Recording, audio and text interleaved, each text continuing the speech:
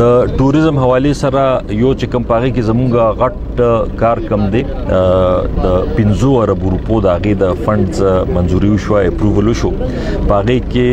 2.5 ارب روپې د هزارې د پاره دي 2 ارب روپې د ملکن ډیویژن د پاره دي 50 کروڑ روپے د بی خان د پاره 15 ارب روپے دادي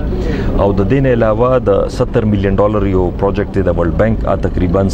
یو لس ارب روپے هغه جوړیږي دا ټول مونږه چې کم نوې زین دي هغه ته د روډز اجت ډیر زیات خپل خپل زین دي په دې صوبه کې خو ډیر زیات د روډ مسله ده او چې روډ نه یو ځای ته نو البته بیا خامخا ټوریست خو نشي تللی نو په دې وجه باندې فرست پرایورټي هم دغه دا چې دا روډونه جوړ کو او یو سلور ځین هم ایدنټیفای کړی د ټوریزم زونز لپاره هغه به سپیسیفیکلی صرف د ټوریزم زونی باغې کې به څنګه چې د انډستریال زونی باغې کې صرف کارخاني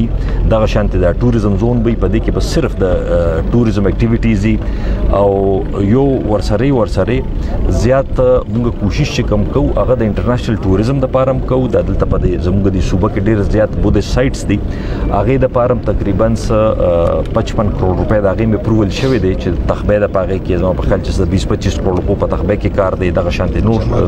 جمال غړې کې دي نور په صوبه کې داسې زین دي چې هغه مونږه اپګریډ کو او التا د تایلند نه د جاپان نه د چاینا نه چې د دې ملکونو نه التا بودیست ریلیجیس ټوریزم چې کوم دی دا دغه د پاره دغه ډیر مقدس ځای نه دی نو کوشش دا کو چې هغه تاسو نه زیات نه ټوریست راشي